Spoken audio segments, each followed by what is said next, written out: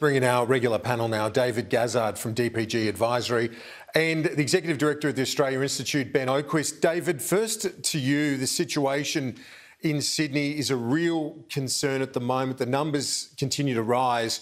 There are two Western Sydney hospitals, Blacktown and Westmead, not taking any more COVID patients. I spoke to the Paramedics Association earlier in the hour. They're saying their members are driving around trying to find a hospital to take their patients. I know we're talking about reopening, but goodness me, there's a quite a, an emergency situation that's got to be managed in the in the short term in terms of getting a cap on those numbers. Yeah, that's right. I mean, that's you know, if you, you go back over the last 18 months, this has been the task that's confronted the Western world, well, in fact, the whole world, including Australia. The, the, the idea was to flatten the curve. Um, and to suppress the virus. And that was exactly what it was designed to do. And that was to keep the pressure off hospitals and our medical system. Largely, we've succeeded at that.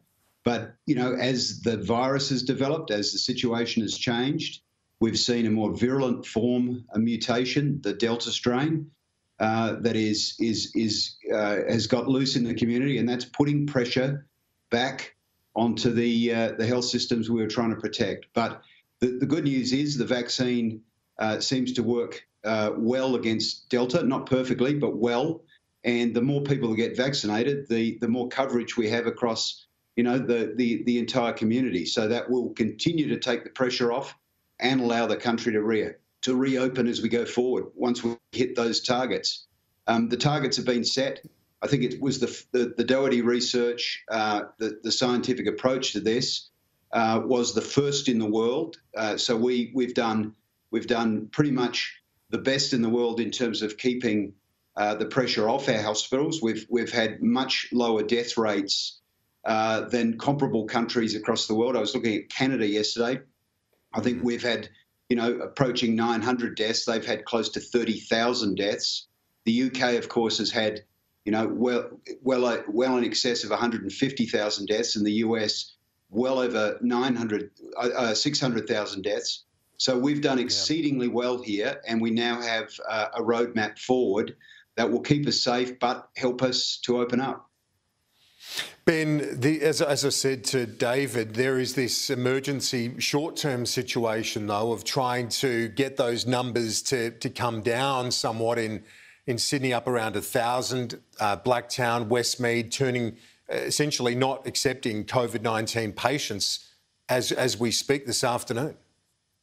That's right. I think this has got a long way to go, and some people have kind of misinterpreted the plan as a Freedom Day coming up, and vaccination rates are going to have to be a lot higher uh, across the community before there's any uh, radical uh, opening up. And if you look at the Doherty plan carefully, um, it points out that that contact tracing capability is very important in um, limiting the damage of the virus, limiting hospitalizations, limiting deaths. And if contact tracing is not up to it or is overwhelmed, you've got a very different situation. And I've been struck by Andrew Barr's performance as Chief Minister here in the ACT, a, very measured approach and a, very worried about the some of the misreading of the Doherty modelling. And course, he points out a couple of simple things like uh, population figures need updating, uh, effectively you're not don't have full protection from the vaccination until three weeks after your jabs. Mm.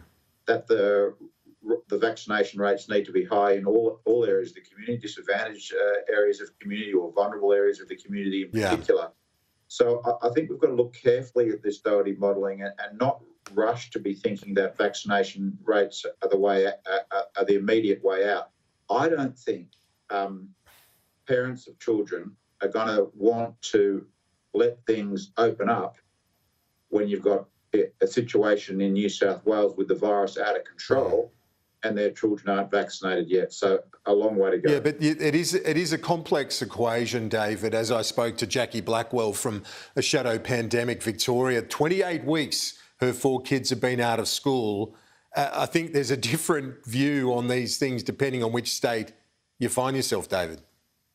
Well, you know, again, we're, we're in a situation where we have a political response that is armed by the best medical advice. So, you know, the, the Doherty research has been done over the last five months. It's the best in the world. It's, it's the first time this has been done in the world. And the vaccination rates are at the higher end. Um, Britain has opened up, um, and while, while, they've had infections, there have been much better outcomes.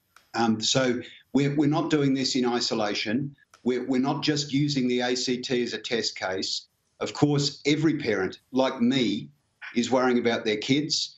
Um, the, yeah. the, vaccination for children is being discussed, but it is being discussed at National Cabinet, armed with the advice of the best medical experts we have in the country.